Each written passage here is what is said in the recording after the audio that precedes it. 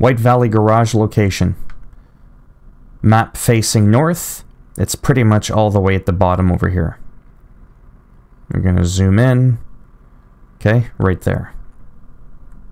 Right, and you're going to be coming from way up there. You can see it at the top there. Make sure that when you are here, right, make sure that you actually drive near the yellow square so that it says garage discovered.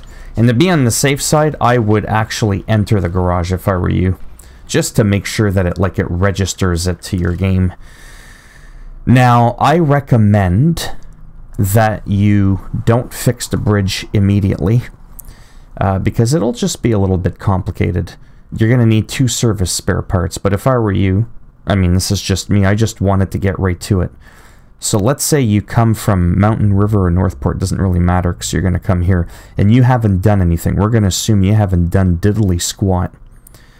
You're going to follow this road. Oh, would someone answer the phone already? Come all the way down here. Once you get to the uh, factory, turn left, right? Go down this little fork over here. Like that. Loopy loop around that, okay?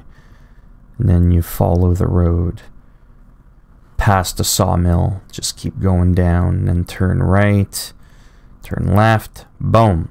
Then once you're here, because you're at the garage, wow, that was loud, uh, you can buy a trailer uh, for whatever it is you want to do.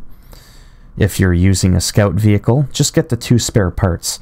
And uh, from here, once you're registered, you can do that, and then you can simply come here at the service hub, at least I'm assuming, with the up arrow, upload it to your truck, and then come back. Nice straight highway road, and then boom, you can unlock that bridge. So yeah, so there you have it. If you liked the video, give it a thumbs up. If you didn't like the video, give it a thumbs down, and I'll make sure when you're here and you're about to like drive in, right?